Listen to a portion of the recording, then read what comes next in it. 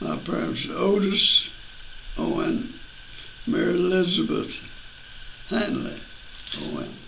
They uh, they grew up here in the in the same uh, community, went to the same church, and they were more or less neighbors when they was growing up, and they uh, they was three Owens married three Hanleys. My dad married uh, one of the one of the girls. His dad had two sisters married mothers, two brothers, and so uh, we had fifteen double first cousins at one time, and I'm the last and left. Uh, I can go back to my grandfather, John Daniel Hanley. To his father was Brown Hanley, and his mother was uh, uh, a daughter of Daniel Dozier. And Daniel Dozier's mother was a Walls. John Daniel and Martha Ann Hudson Hanley. Her father was James Hudson. He was he lived in southeast Georgia. My grandmother's father, James Hudson, and uh, they he moved down close to Dozier, Alabama, and got acquainted with. That's where my grandfather Hanley and grandmother met. They James Hudson moved down to Dozier spent a few years, and then later on, James Hudson moved back to Georgia. We we know little, very little about the Hudsons, and that's as far back as I can go on the Hanley's side. The Hanleys lived in South Alabama, and uh, uh, John Daniel Hanley, my mother's father. Uh, well, they, they, his name was John Daniel, and he was known as Daniel. And father uh, uh, left South Alabama and came to Texas in 1893. And uh, farmed uh, for a man named Harmon Loman that had been a neighbor in South Alabama that had come to Texas and bought land on the San Marcos River at Staples, Texas. My grandfather farmed the first year he was in Texas with Mr. Loman, and then he bought a, a 600 acre farm uh, south of Mike McMahan and and lived on it till 1901 when he sold out and, and moved to Oklahoma. well, he uh, stayed in Oklahoma a few years, then he sold out and moved back across Red River into Childress County and bought some land. But uh, it, it wasn't too good a farming country, and he didn't do too well and he bought a hardware store and he was running a hardware store. And uh, the story goes that automobiles was becoming a common thing then and everybody wanted a car but my grandfather didn't think cars would ever catch on that people would want the loud, smelly things, and they're going to stay with the horses. So he, uh, a buggy salesman came along and made him a real good or, offer on some buggies. And my grandfather tied up all his money and bought all these buggies. Never did it, never did sell them all. He went broke. Uh, running a hardware store at Odell, Texas. And what did he do after that?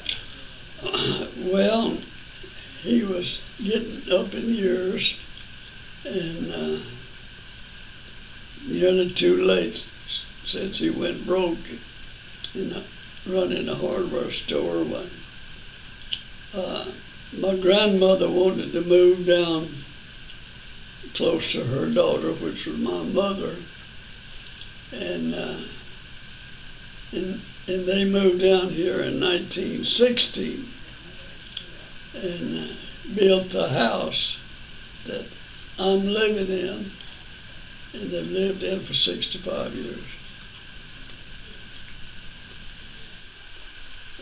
Well, my grandfather, Hanley,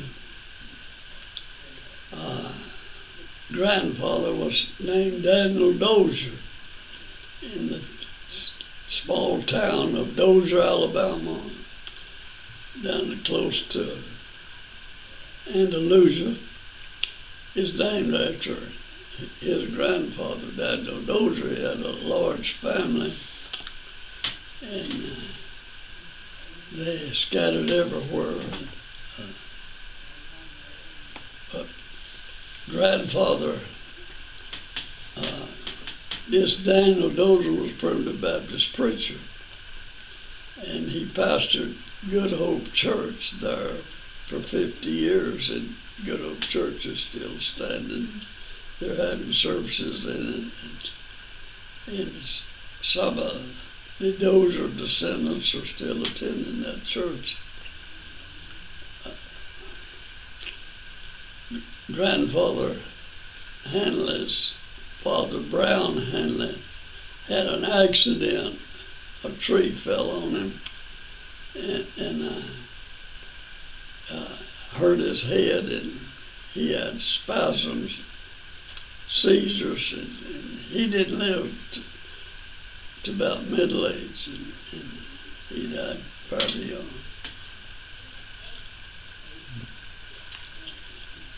But uh, the Dozier's mother, now Daniel Dozier's mother was named Walls. She was a Walls. And uh, and her her uh, her brother Thomas Walls was a preacher, and he's the one constituted Good Hope Church there in Alabama. Well, Otis was the son of S.B. Silas Bester Owen and Abigail Jones. They had 11 children. Two died rather young, and they raised nine.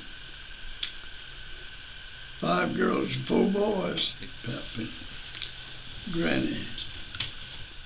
My grandmother Owen was a Jones. Henry Jones was her father. He went off to the Civil War, and he survived the Civil War, and he was on his way home. And got sick at Crockett, Texas, and died there. He's buried there around Crockett somewhere.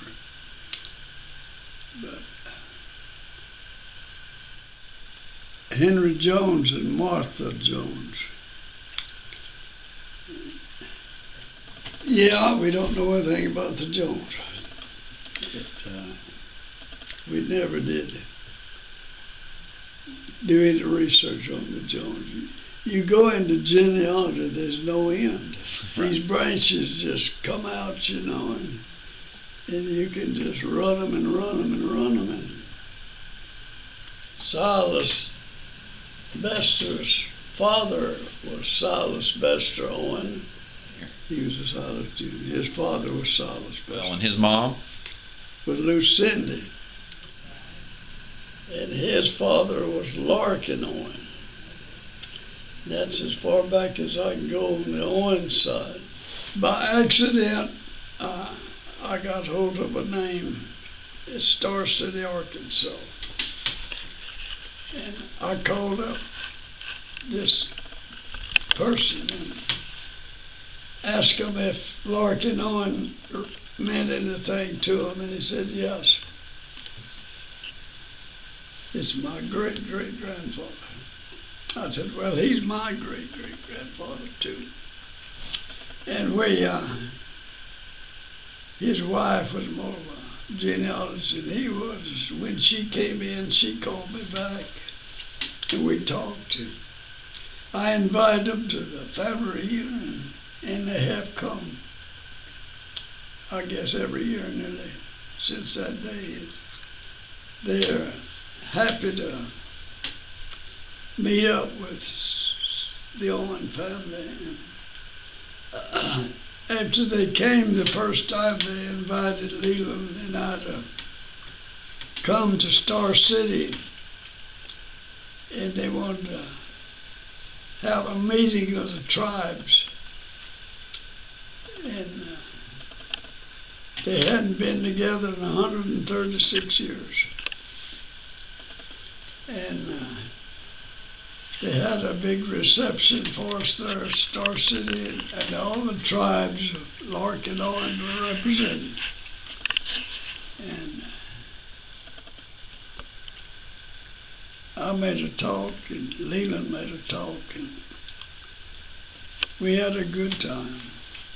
Uh, I but we walked those cemeteries in that area, Lincoln County, and there is an Owen Township in Arkansas.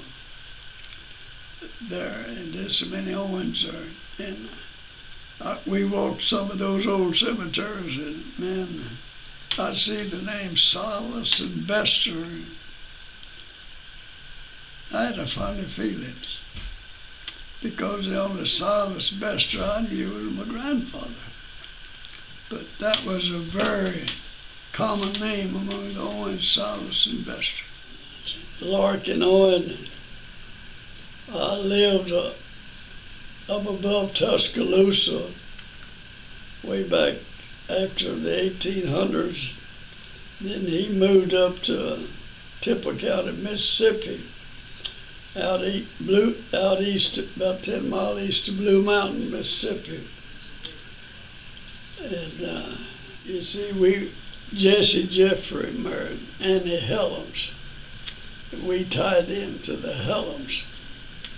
And Jeremiah Jeffrey and John Helms, uh, they were together in South Alabama and they were together in uh, Mississippi. And, uh, they intermarried.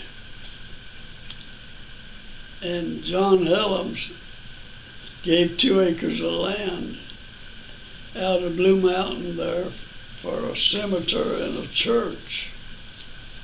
And Earl Helms found that in uh, county records where John Helms had done that. And he set out to find that cemetery. But he couldn't find anybody old enough and knew enough that knew anything about it. It's a lost cemetery out in the middle of a forest. There's a logging road that went out that way.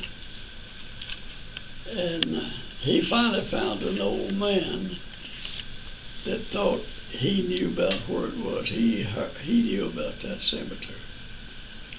And so Earl got him and got a four-wheel drive Jeep and they went back in there about a mile off the road and found this cemetery overgrown. They just had to port the brush to get back in there to where the markers were, but there's about a dozen markers back there.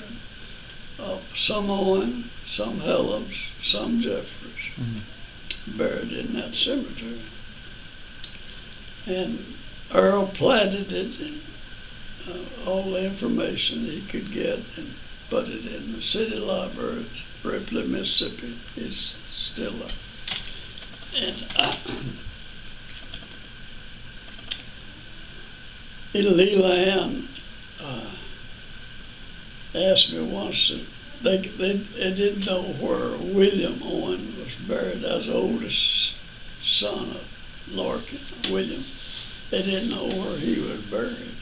They couldn't find no place, no place in Arkansas. And I asked, I said, did William Owen marry Helens. She said, yeah, he did. He married Helen. I said, that's where he's buried. He's out there, and that's Hepzibah Cemetery. And sure enough, that's, that's where is. And my, my grand, great grandfather, Silas Bester Owen, died in 1855 and uh, left a widow with, with a son and a daughter. And she was a Jeffrey. The Jeffrey lived on the west side of Blue Mountain, Mississippi. And they came from southern Alabama uh, and north of Tuscaloosa uh, on the Black Warrior River. And uh, they they left uh, South Alabama and went up to Tippah County, Mississippi, and stayed there till the late 1840s. Uh, County, Mississippi, in 1857 came to Texas, and then they they left Tippah County, Mississippi, and came to McMahan, Texas. Why do you think they came to McMahan, Texas? That I don't know. I've wondered that myself. Why did they pick men? But uh, uh, the Jeffrey family, uh, my great grandfather Silas Owen had died, and uh, back in those days, a widow. Uh, had two choices. She could either marry very quickly after she lose her husband, or else she had to go live with the family. She had no way to make a living, take care of her children. And uh, so uh, my grandfather and his sister came to Texas in 1857. My grandfather was born in 1855. He was two years old when they brought him to Texas. And uh,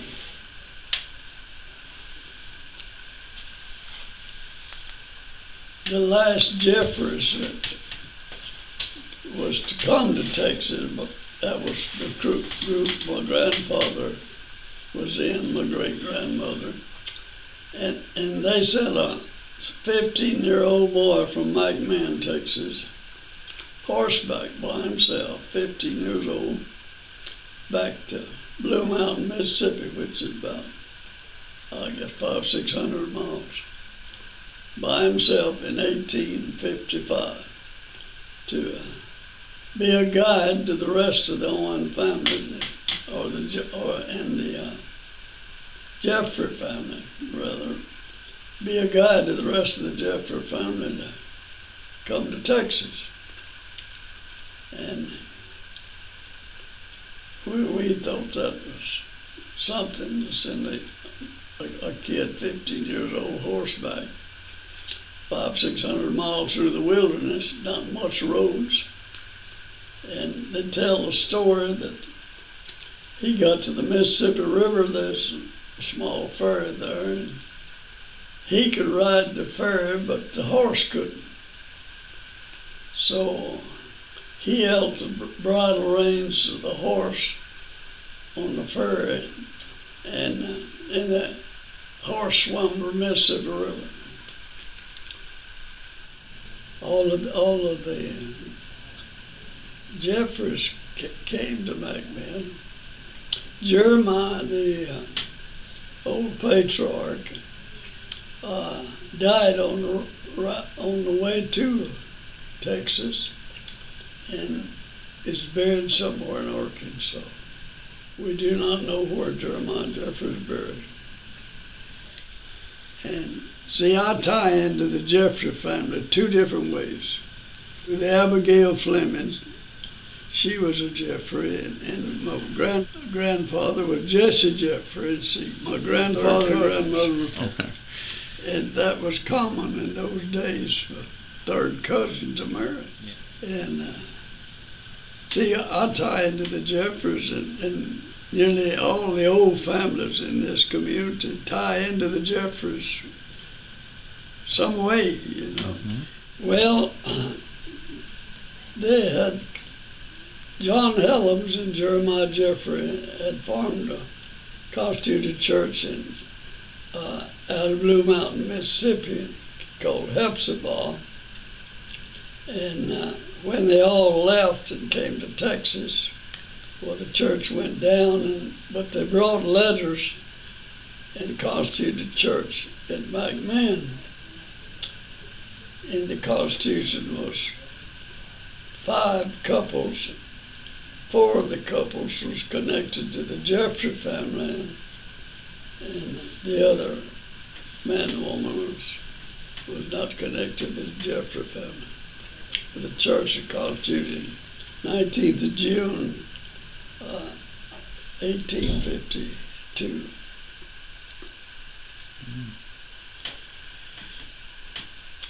And then in the in the Constitution, the uh, Bethel Church, uh, one of the couples that's in the Constitution, John M. Fleming and Abigail Jeffrey Fleming, were charter members and it constituted his home about 400 yards south of where the church now sits. And, uh, and out of that John Fleming, Abigail Fleming family, there's been a continual membership of that family. Uh, and the eighth generation is now of that one family is worshiping in Bethel Church. Well, Dad and Mother married in, in 1908, Otis Owen and, and uh, Mary Elizabeth Hanley. They lived in Childress County in North Texas. And uh, Dad went up there and they got married in Childress County. And they uh, wanted the pastor of the church there, Elder J. Jones, to marry him, but he had to come up on the railroad train, and they had a, something that caused the train not to be able to run, and so they couldn't get the preacher to marry him, so Grandpa Hanley went to town and got the county judge to come out to his house and, and marry my father and mother. Well, they, my dad had bought a 205 acre farm on Tennis Creek south of McBean, and there was an old house on it and barely livable, and that's where he brought his bride. And uh, my oldest brother Judson was born in that house in, in 1913 uh, when they moved out on the road and built a, a, a house. And three of us boys, Leland, myself, and, and Dutch, were born in that house. Road. That that house is still standing and it's livable. I had three brothers. Judson was the oldest, born in 1910. Leland born in 1914. I was born in 1919. And Dutch, or Otis Jr., we called him Dutch, I was born in 1923. And my oldest brother Judson, he, he was working on a wind top of him. And he fell off the roof and broke his back, and he was paralyzed from his waist down. The rest of his life, rode a wheelchair 37 years. The handler did tie into the Jeffrey. But see, Judson and his wife, Lavina Baker, they they tied into both of them tied into the Jeffers. And Jolene and Louise, that's my Judson's two daughters. they tie into the Jeffries four different ways. Oh. Lavina's grandmother was a granddaughter of Sarah Jeffrey. So, and Leland, my next brother was, uh, he, Leland Peggy, his wife, they tied, both tied into the Jeffers.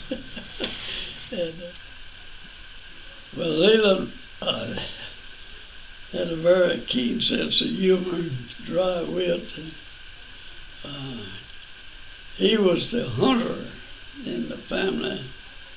I didn't care much about hunting. My brother Judson didn't care much about hunting. Dutch didn't do much hunting, but Leland was a hunter, and he uh, passed his knowledge of hunting on to some of the rest of the younger boys coming up in the family, and, and uh, he was he was he was uh, when he retired, he moved back. He and Dutch, his brother Dutch lived in the old home place together there for several years. Leland was working on small motors, lawnmower motors mostly, and he got very good at it. And I asked him one time if he ever got a motor that he couldn't get to run, and he said he never did. Every motor he ever tried to work on, it ran before he got through it. He said there was one motor he worked on off and on for three weeks, but it finally ran. He had a lot of patience. What were some more of his hobbies? Uh, well, he uh, he had his own setup that he uh, refilled his spent cartridges after he would empty the cartridge farm. He had a deal that he could recharge his uh, casings with uh, powder, lead, bullets. So he and he, he turned that over to one of the younger boys to they're, keeping that up. Uh, he tried farming here on the place, but he couldn't do too good farming, so he went uh, to work on the Luling Foundation at Luling for a while. And then he was hired to run the locker plant at Lockhart for about 10 years, and then they hired him to go to Bishop, Texas and run a locker plant.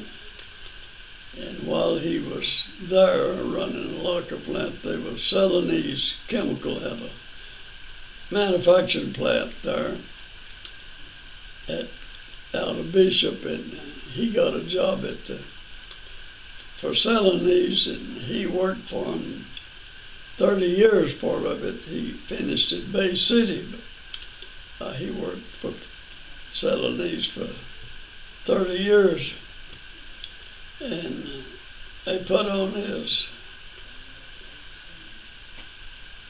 papers when he was retired that this man in 30 years had never been late to work one time.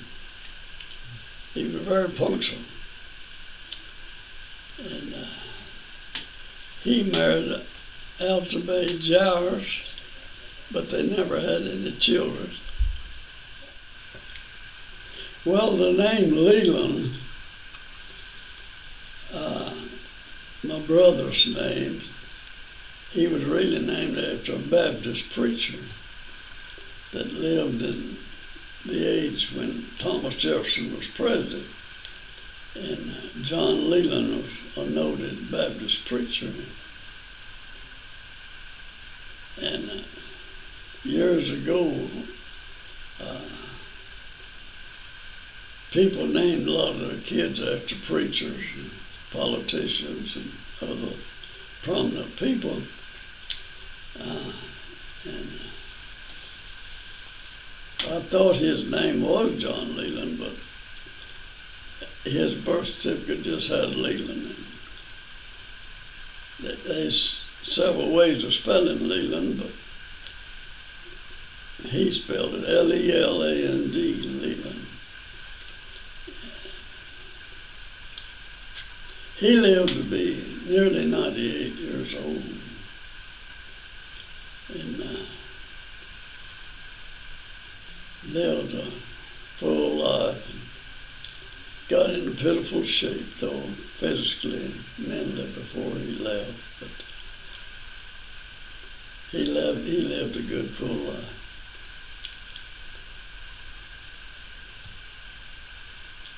The family is, feels honored that a young one is named in his honor. And Dutch, my younger brother, uh, he never married. He had no children. They're all gone. I'm, I'm left, last one in the family. I married uh, Edith Morrow. She lived in the Rio Grande Valley.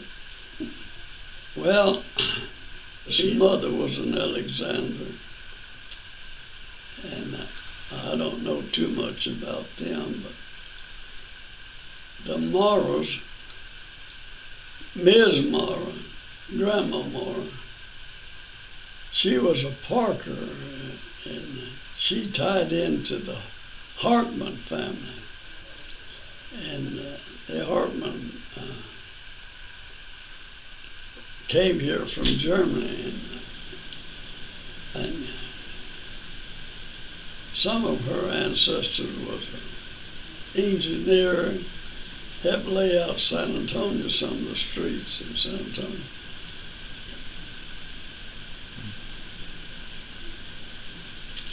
But Edith had uh, two brothers and, and, and two sisters, twins.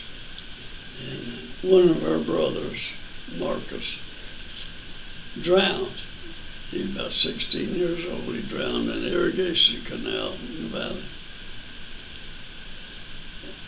And her oldest brother, Joseph, he, uh, he was drafted in the army in about 1941 and he, after the war was over, he stayed in the military. And, uh, he advanced and was connected with the Texas National Guard and rose to the rank of one star general. But there, he's gone, and his wife's gone. And grandmother's sisters? Grandmother, one. I know grandmother, my grandmother's sisters, your wife's, your sister-in-law's. Well, they was a twin, Eileen and Pauline, and, and uh, both have families. Pauline lives with a daughter in Austin, and her children in kind of that area. And Eileen lives at Fredericksburg. And uh, she is she's down in a nursing home. Health is not too good. But she has two daughters, and uh, one of them married a doctor, and they live outside of Fredericksburg. The other daughter lives outside of San Antonio. Well, we uh, went to the same church, and, and we met at church meetings, and uh, we lived 250 miles apart. And that's why I said I had to leave this country to fi- find me a wife that wasn't kidding. we never did do a whole lot of courting, but we did a lot of letter writing and didn't do too much talking on telephone because we didn't have good service. Had those hoop holler telephones and you could hear and, and uh, didn't get very good service, so we did most of our courting by mail. And uh, we we, we started, you might say, courting earnestly about nineteen thirty-eight. She, she, liked kids, and, and she always had a bunch of kids around her. And uh, they liked her, you know. And fact of it is, she's hard to court because there was kids hanging around, you know, and you couldn't get get her off to talk to her privately. and So uh, she had a good personality. People told me that they, they had never seen her get mad, so I, I thought that'd be a pretty good uh, qualification. She never got mad, but, but some folks didn't know all the facts. well, we broke up one time, and uh, we just so far apart that we couldn't court, and so we kind of broke up. But, uh, she got to thinking about it, and I got to thinking about it, you know. And we wanted to get back together, and we did. And, uh,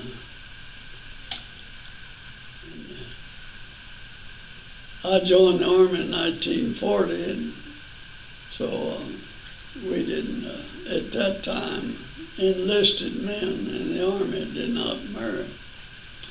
And uh, so we didn't get married until 1944. I was in in the war in France. I was a staff sergeant, head of a section of 36 men.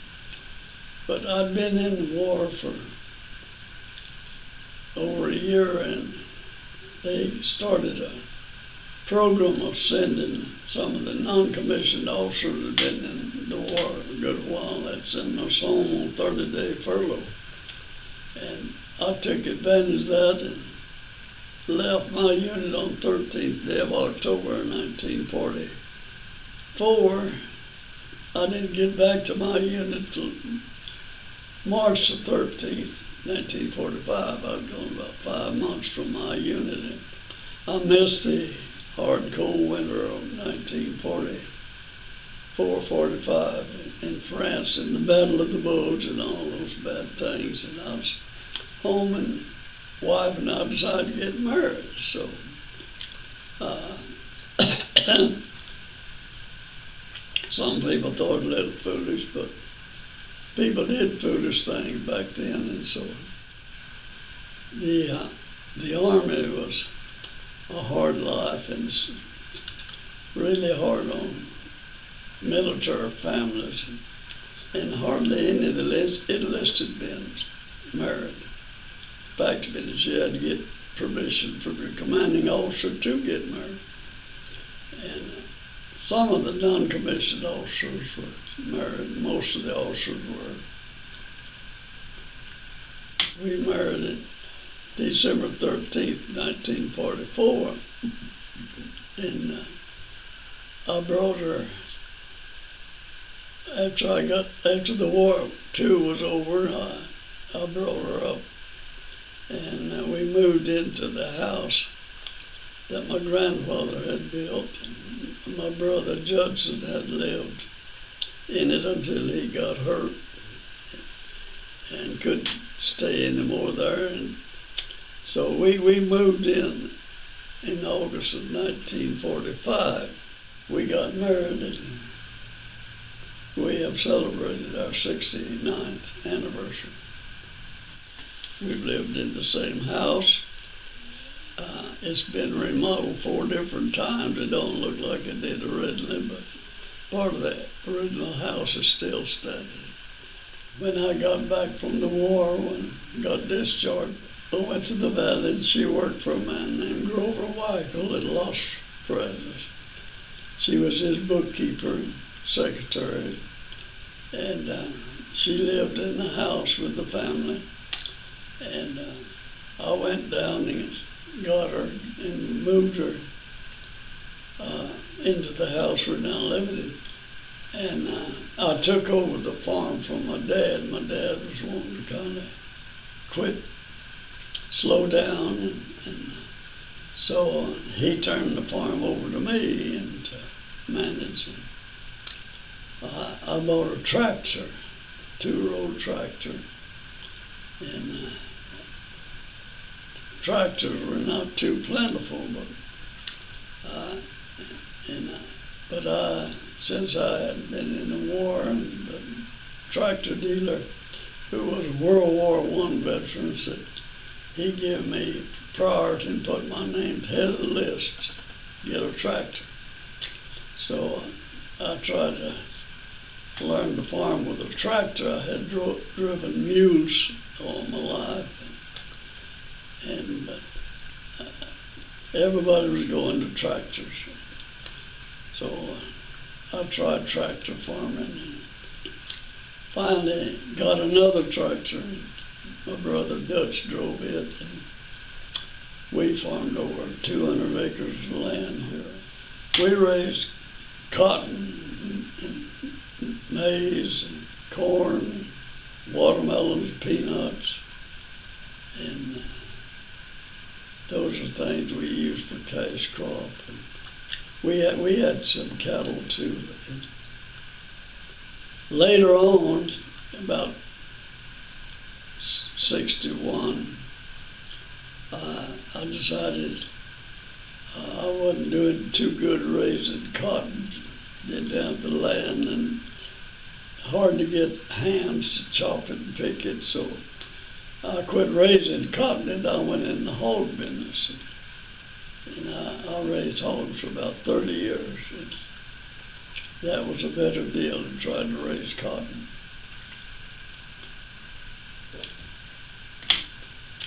But Edith, uh, she had me on the farm for a few years, and, and she decided she could be maybe more help get the job off the farm. And uh, yeah, I think that was a good move. She worked away from home for about 25 years. And, What did she do? well, she was a bookkeeper and secretary. And, but uh, she didn't go back to work until the youngest was in, in our youngest. We had three children, two girls and a boy, and uh, she didn't go back to work though until the, youngest was in school. She worked in Lockhart, Texas.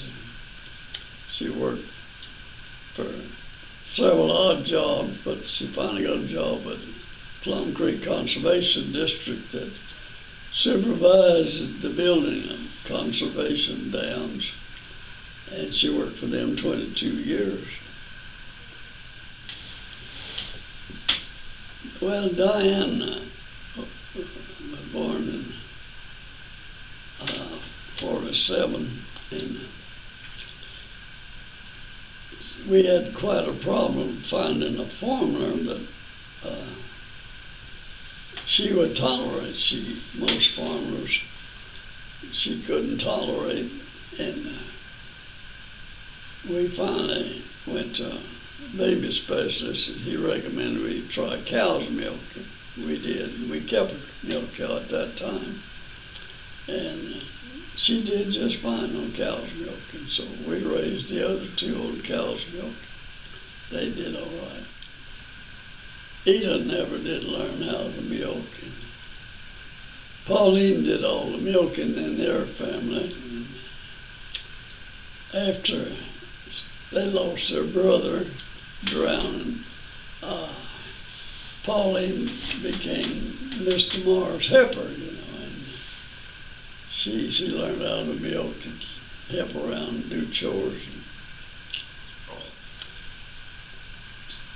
Well, Edith was when she went to work away from the home. Uh, Diane was, well, I guess she was in high school, and she was more or less in charge when she got home from school. Beverly and Tom and uh, Diane uh, she she thought she had to boss them around, you know. Sometimes they'd take it, sometimes they wouldn't. And they'd have to call up Edith on the telephone to settle family argument. And, uh, well, our, we got acquainted with Don. He came with a, a couple of singing harp singers from East Texas to singing here at McMahan Bethel Church. And uh, that's our first acquaintance with uh, Donald. And uh, everybody called him Buddy back then. He wasn't married. And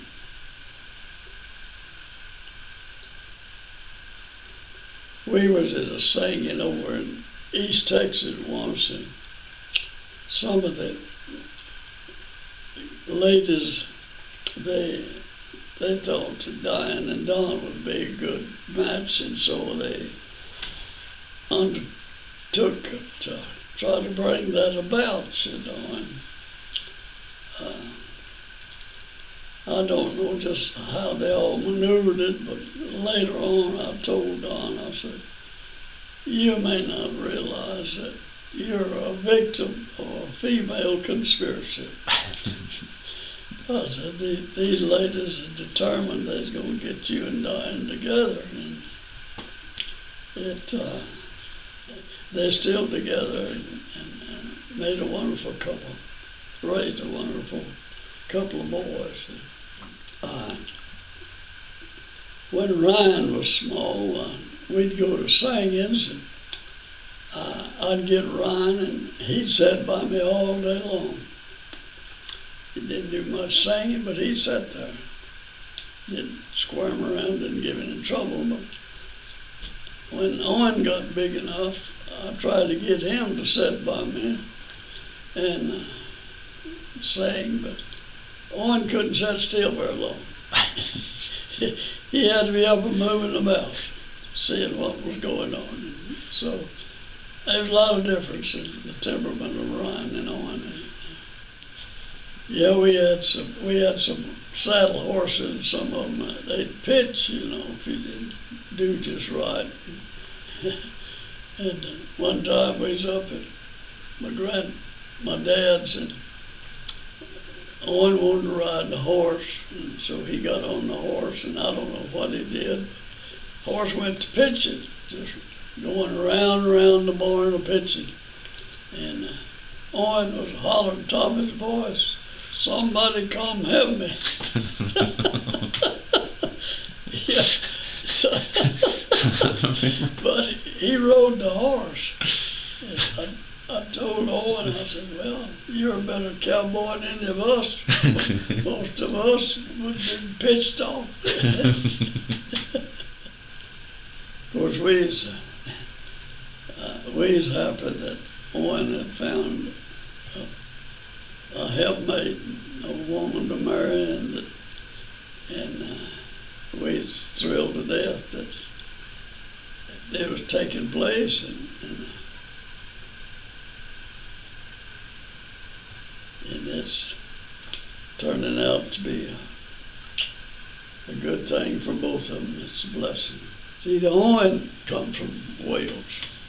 It's a Welsh name. Jeffrey's English. Hanley is English. Dozier is French. Hmm. Dozier. That's the way it's pronounced in French. Dozier.